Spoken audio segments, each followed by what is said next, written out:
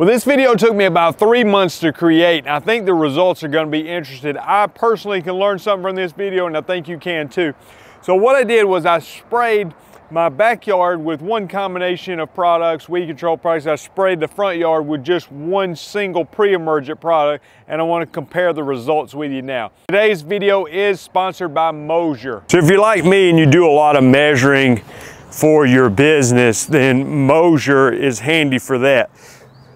The problem with like a measuring wheel is you gotta use a lot of math and not all lawns are perfectly square or rectangle. And so you end up measuring triangles and you end up estimating and not being exact.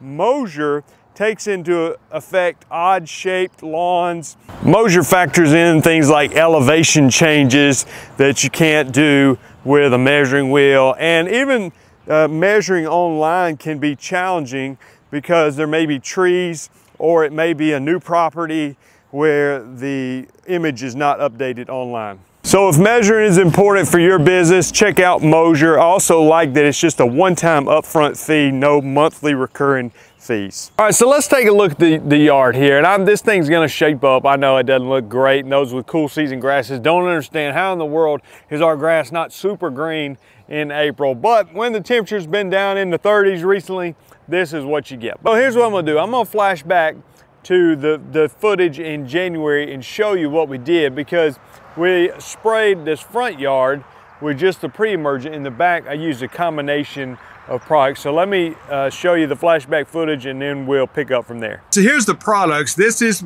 this is a pre-emergent, so this is Resolute 4FL, this is prodiamine. So this is what I'm putting out before the crabgrass germinates to help keep the crabgrass out. That's the main uh, strategy with that. This is Specticle Flow. I often use it in the fall to get ahead of cool season weeds like Poa annua. But this year I actually put three ounces in with my round one mix to help if there is some Poa annua that's going to germinate like in February or March timeframe. I'm hoping it's going to help out with that. This is atrazine. It is a restricted use pesticide. It is to help with some broadleaf weeds. Uh, this is triplet. Also, uh, it, this is a three-way um, product. It's going to help with some broadleaf weeds as well. And this is my surfactant. So with these products, okay, when I'm doing my round one treatment here early in the year, I definitely want the prodiamine here. Not that expensive and going to do a great job on keeping the crabgrass out of the lawn. The Specticle Flow, I'm kind of debating on it, honestly. I, I, put it out in the fall, seen a little bit of POA breakthrough, not much. And I, have been using it the past few years, like in April or May timeframe, which helps big time with Kyllinga, doveweed, things like that. Using it now, I'm wondering if I missed out on those three ounces, how much POA would actually germinate in February or March, you know, would my fall application of Specticle keep it out or is this extra three ounces I'm doing now really making a difference? I don't know the answer to that, but I'd love to hear from you if you know the answer. So definitely need this, okay? This is gonna be great on crabgrass better than this in my uh, understanding. So this might help with some late POA and then also carry on through and hopefully keep out some of the spring weeds that are going to start germinating. So this combination double pre-emergent, definitely want this one in there. I'm not 100% sure on this, but think it's helpful. Atrazine, going to help with like henbit clover and some of those type of weeds. But sometimes I wonder if I left the atrazine out, would the triplet do almost as good uh, just by itself? So triplet's going to do good on those broadleaf weeds as, as well as, uh, you know, those weeds I mentioned, plus like dandelions and things like that. So here's what I did on my lawn. I sprayed all of this on my lawn, all of it on the back part back here, all of this, everything and that. It all came in there, surfactant, triplet, atrazine, Specticle Flow, resolute everything. But as I'm spraying, you know, there's not that many weeds. But so that comes to my mind. I'm like, do I need to really be spraying all these stuff if there's not hardly any weeds in the yard? I mean, my fall pre-emergent did such a great job. Could I just put down the prodiamine and be fine? Well, I just really wanted to see the difference. So I want to uh, testing here in my mind, making mental notes, spraying all of this with that big combination I just showed you and the rest of my yard spraying it with just the prodiamine. I want to see the difference. So a few questions you might ask yourself if you're trying to get by with a little bit cheaper combination. One question you might ask yourself is, when am I coming back to spray a post-emergent product again? And so for my situation, for my customers' lawns, I'm planning on spraying this combination And I think this year I'm going to be back in March spraying a little bit more Specticle with some dismiss, with some metsulfuron. So my thinking is, you know, let's just say that there were some weeds out there and I missed. I'm gonna be back in March to spray again, and I think by March they're not gonna be that big and very noticeable on the lawn again, so I got another chance to come back and get them. Now, again, I'm not doing it on my customers' yards. I'm trying to keep those looking great and take care of them, but I'll be interested to see are more weeds popping up on the other side of my yard where I only use the Prodiamine. So what I was trying to test back then was, you know, am I using too many chemicals on the lawn or is it necessary? Is it, is it really giving us any results? So Fast forward, we're in April. This is like peak season for weeds in my area. I mean, you can drive by yards, you can tell which ones are on a treatment program, which ones are not. The ones that are not are absolutely covered in weeds. And so let's look at it and see what the case is, and then we're gonna draw some conclusions. Well, just a general glance over the yard, and you can see there are not that many weeds, but there are weeds, and I wanna show you the ones that we have. Now, this is the front yard. This is where we just sprayed the Prodiamine our pre-emergent. And I want to show you initially just the difference in this uh, hillside over here because I don't spray this hillside. Well, I don't spray it very often and it's got very little grass on it. But this is the kind of stuff that we're seeing in yards all the time right now. I mean, just giant weeds all over the place.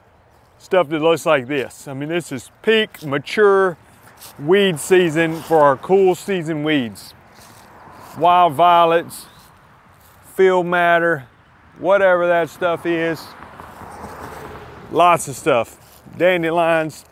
All right, so you can obviously compare it to that, uh, that hillside to the rest of the yard. It doesn't look anything remotely close to that. But what do we see in the yard? Well, as I walk through the yard, and I know where some of the weeds are that live here, one of the things I'm gonna notice is you're gonna have nutsedge already popping up. And this area, you get a lot of nutsedge. I'm not exactly sure why.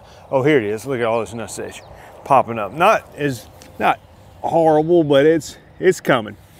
So would that have changed if I would have sprayed it in the back? No, it would not have changed. Post-emergent products weren't gonna do anything to the nutsedge anyway. Now, what about this? I don't know what that weed's called, but that's some kind of just simple broadleaf weed there. It'd be easy to kill. That I could have controlled. And here's another one. Could have controlled that. And by the way, I haven't mowed this grass in about two weeks, so it's a good time to show the weeds. That's the other hot tip I kind of allude to. I hadn't mowed the grass in two weeks.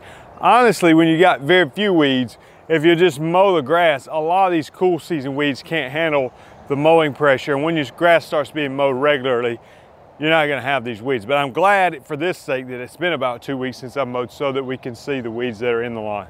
Now I'm not seeing a whole lot, but I am seeing just a little bit of Poa annua here. Now, would that have done anything different? No, I doubt it. That probably germinated back in the fall. So I don't think putting out some post-emergent products would have done anything to control Poa. I didn't use a product that would have killed the Poa anyway. Then you've got a little bit what I believe is American burnweed, and it's starting to pop up. But there's very, very little, and that's a commonly uh, seen weed this time of year. Best probably prevented with a, a pre-emergent in the fall. You know, put out the Specticle Flow can have some reduction in the amount of burnweed in the yard, but it's it's a weed that I see oftentimes this time of year. Very easy to kill, and again, mowing the grass a couple times usually gets rid of it or you can spray just about any broadleaf herbicide and knock it out. So again, just to make sure that we're seeing the same thing here, are there some weeds? Yes. Are there very few weeds? Yes. I've got very few weeds in this yard. Now let's go look at the back where I sprayed a combination and see what the difference is. All right, now we're back here in the back and let me first notice, one, it's significantly greener.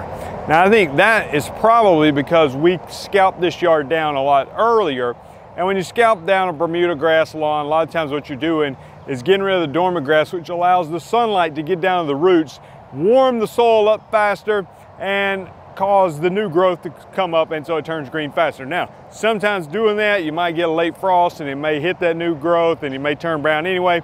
But in this situation, you'll notice significantly greener than the front yard. What about the weed situation? Again, a lot more product went out on this side of the yard than the other side. Well, as soon as I walk back here, what I see. Nutsedge, it's here, okay. Now again, I wasn't expecting what I sprayed to do anything on the nutsedge, but just to show you, you're still gonna have weeds in this situation. Now, other than the nutsedge, I'm not seeing a whole lot of anything back here. Now I got, look at there, wild onion, been mowed off and still growing back. So got onions there, the, the metsulfuron, I don't remember if I put that in a mix or not, but that would have taken care of that. But as I walk around here, I see almost no weeds in this entire place. And I'm just gonna walk a little bit further. Well, here's some nutsedge. And then there's one of those, whatever that is. Is that vetch maybe? I don't know. Y'all tell me what that is, but tiny little weed, barely noticeable. And this is almost two acres of grass back here. I don't see any American burnweed. Certainly no clover, dandelions, henbit, field madder, yellow wood sorrel. I don't see much of anything back here unless I get on the very edge of the yard where I did not spray. All right, so we've made our observations. Now let's draw some conclusions. I'm gonna tell you my thoughts and what we can learn from this. As I did walk over here where there's virtually no grass, you got some yellow wood sorrel, looks like a little clump of broom sedge there. So there's, you know, almost no grass and where I probably didn't spray, you got some weeds. Over here, getting the edge of this gravel, there's some big weed there. So a little bit, but where there's grass, there's almost no weeds. Again, just one more example. Out here, grass is kind of thin, very few weeds. You get over here behind this shrub where I did not spray, weeds like crazy. I'll give you more examples. Lots of weeds, lots of weeds. All right, so what can we learn from this? Well, let me give you one more twist in the plot. Today I went to a property and I'm gonna show this property later on a video, or I'm planning to. And it's a property that had tons of weeds in it early in the year. And I got out there and sprayed the whole property with glyphosate, which is the active ingredient found in Roundup, and and prodiamine, which is the pre-emergent.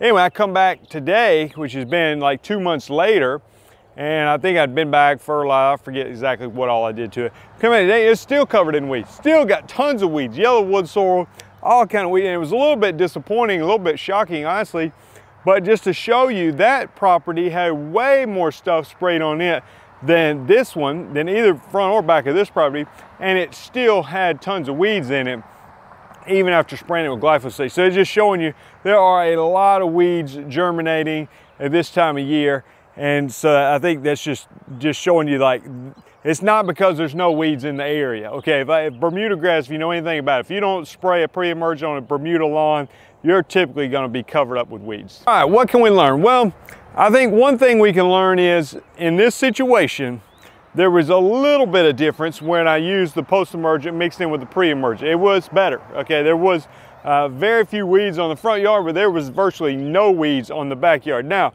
one of the things that made the difference is the front yard as well as the backyard are nice and thick and healthy. Okay, if this would have been a thin lawn that that had a lot of weed pressure, then it would have probably been covered with weeds. Because it was thick and healthy, and because, the second thing is because it had virtually no weeds in it last year, I had kept the weeds clean. So you think about these annual weeds or dropping seeds, there was very few seeds to reproduce this year. And I put down a pre-emergent, okay? So it's not like there was no barrier against the weed control. There, there was a weed control strategy. They're just the fall pre-emergent that I did, okay, which would probably sprayed Specticle Flow out here.